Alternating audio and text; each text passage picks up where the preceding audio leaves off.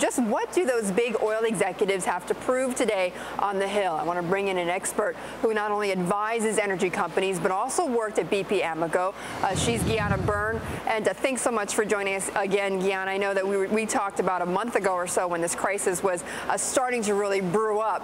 Uh, from these oil executives on the Hill, what do you want to hear today? Well, today the oil executives are going to make every effort to show that each of them within their own companies have put in place a number of safety measures, that they've taken their own regulation and safety and emergency response to a whole new level.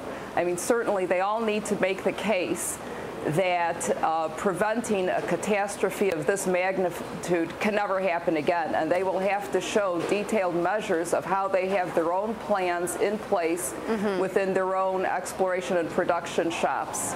But even if they do all of that, Gianna, that's not going to be able to break their guilt by association with BP, right?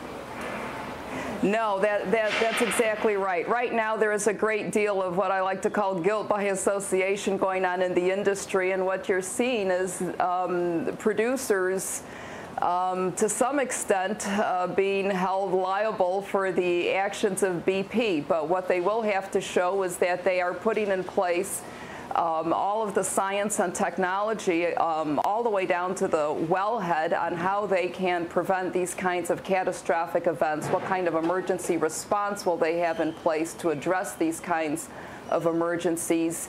And, and yes, they are being, they will have to have um, some measures of right. uh, increased regulation in order to get over the hump here. Yeah, and, and we know that they're going to do that because we know they want to quell sort of this public fear about offshore drilling. But is this a case of uh, where we don't watch what they say, but we watch what they do?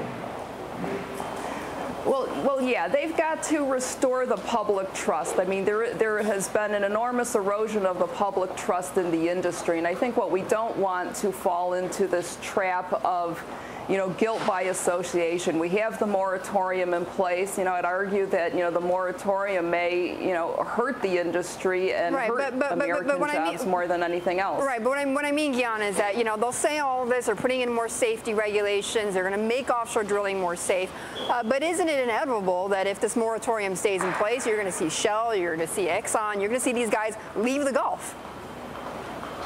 Yes, absolutely you will, because the producers work with the oil field service sector, and what will happen is that as the moratorium um, goes further out, or if it should go beyond six months, that you will begin to see drill rigs leave the Gulf. And in fact, that's already happened. Drill rigs have already dropped by 50% in the Gulf. And that's exactly it. They're going to go to geographies that are somewhat more, how can you say, you know, regulatory friendly right. and go to waters where they can drill and where they can work. Like where? In South America or where, where else? They'd go to, I'd say Asia is probably the predominant place where you'll see most uh, drill rig, you know, increased activity in Asia, perhaps even the west coast of Africa. Okay. But you'll see all these drill rigs begin to move where they can, can work and can increase revenue revenues for the companies that support them, and this would be the oil field service sector companies, okay. the Halliburtons, Baker Hughes of the world. Okay. All right, Gianna, we'll have to leave it there, but good to talk with you. Gianna Bern of Brookshire Advisory.